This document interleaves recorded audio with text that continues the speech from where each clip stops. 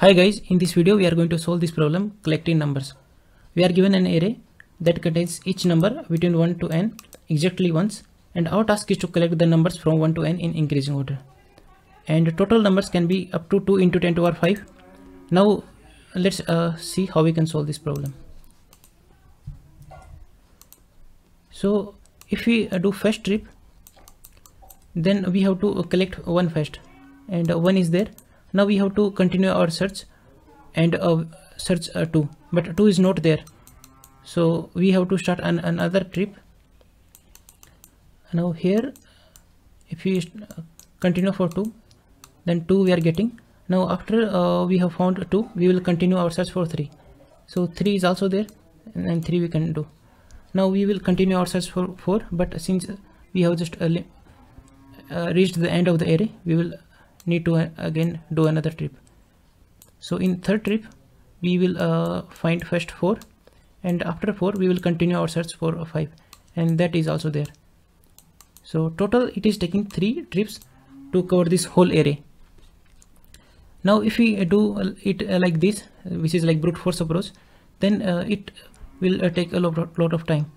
And if you take like this worst case scenario when our array is in descending order then what will happen?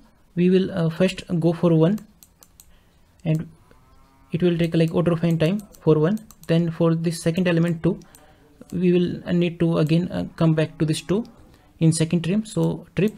So it will be order of n minus 1 and uh, like that it will go on. So this will become order of n square. And since n is 10 to the power 5 so we cannot afford that.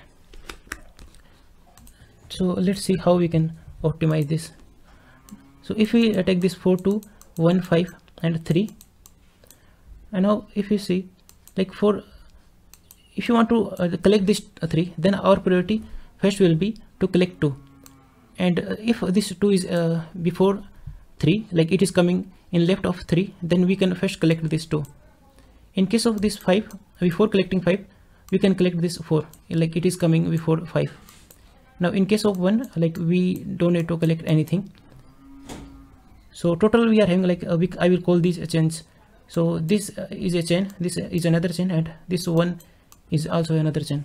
So total three chains we are having and if we just tell what is the total number of chains then that is our answer.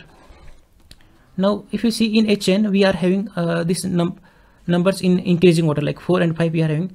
Also like they are in increasing indices. So 4 4 uh, for indice indice of 4 is less than indice of 5 so if I sort these like say 1 2 3 4 5 then you can see this first one is like a single chain then 2 and 3 is uh, another chain and then this 4 and 5 is another chain. So if I just know uh, uh, where this chain is starting then I can tell how many chains are there. Now first chain will start always start from 1 so that we know. And for this second chain we need to know okay and that we can uh, just know how because at for these chains like 2 and 3 like inside a chain all of these uh, numbers will be in increasing number of indices. So for 2 like indice is 1 and for 3 indice is like say 4 so they are increasing number of indices. So if I, I also mention uh, their indice so for 1 we are having like 2 for 2 we are having 1 for 3 I'm uh, taking original indices. So for 3 we are having 4 and for 4 we are having 0 and for 5 we are having 3 so if you see for these uh, two uh, 4 and 5 we are having 0 3 for 2 and 3 we are having 1 and 4 and for this 2 so for a, a single chain uh, like we are having uh, indices in increasing order.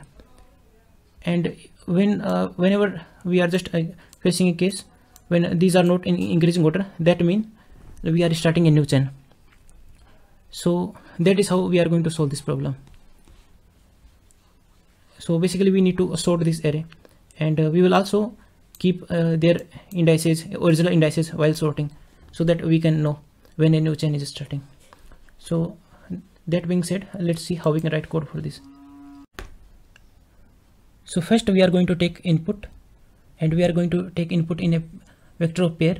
So first value in the uh, pair will be the value and second value will be the indice. Now we are going to sort the array or vector and then this answer variable we will take as one. So this will be for one. So when we are starting with one then uh, for that we need one trip. Then we are going to check if that ai dot second is uh, less than ai minus one dot second.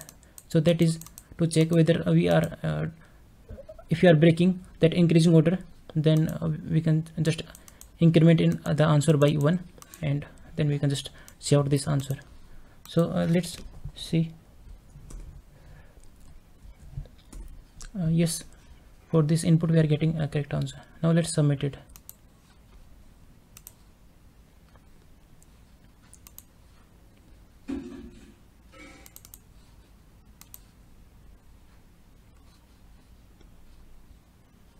Yes uh, we, we are getting correct answer. So if you like the video then you can like the video. And uh, if you are having any doubt then you can ask in comment section. And by the next video thank you guys for watching this video. And i will see you in the next video